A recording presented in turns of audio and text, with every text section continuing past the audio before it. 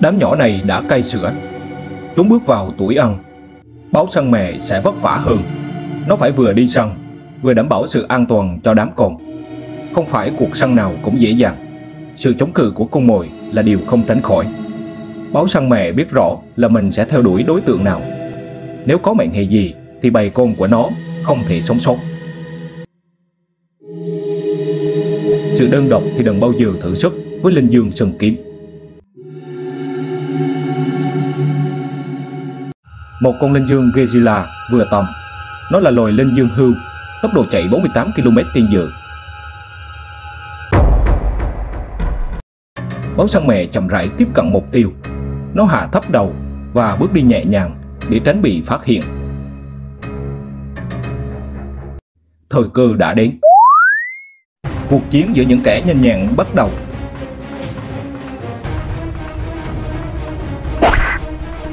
Con báo bứt tốc đuổi theo như một viên đạn phóng đi.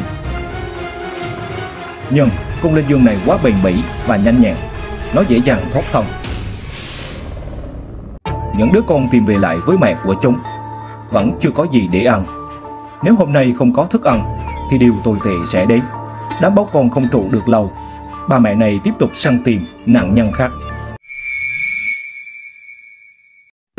Nó chuyển hướng trở lại với linh dương sừng kiếm, một loài thú ăn cỏ nguy hiểm. Trên đầu nó luôn mang hai thanh gươm nhọn hoắt, sẵn sàng hút thủng rụt bất kỳ kẻ hiếu chiến nào.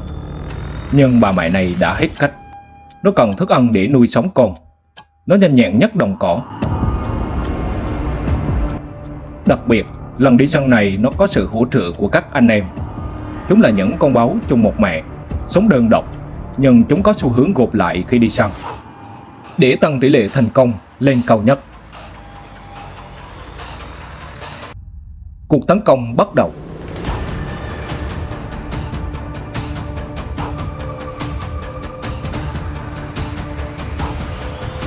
Đã bắt được con mồi. Đám báo săn cắn vào chân và bụng con mồi một cách tàn bạo.